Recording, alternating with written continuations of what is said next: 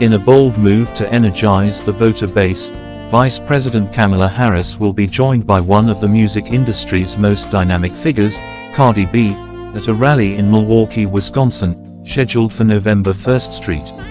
This event marks a strategic alliance between the world of hip-hop and politics, aiming to bridge the gap with younger and non-traditional voters in a crucial swing state.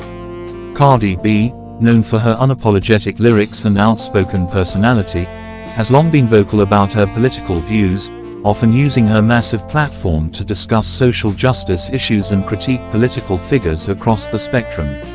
Her presence at the rally is not just a celebrity endorsement but a symbol of the intersection between celebrity influence and political activism in the 2024 election cycle.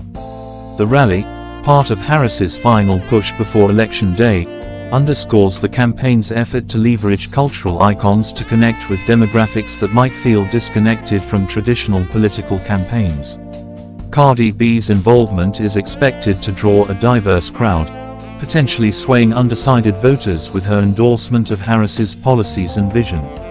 This event in Milwaukee, with its rich cultural tapestry, becomes a stage where music meets policy, offering a fresh narrative in the ongoing electoral discourse.